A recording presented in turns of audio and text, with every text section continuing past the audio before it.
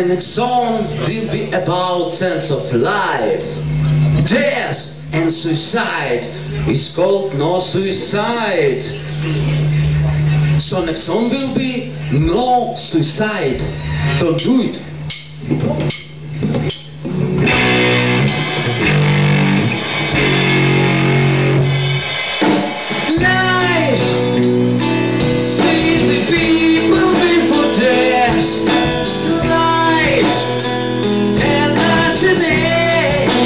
dance.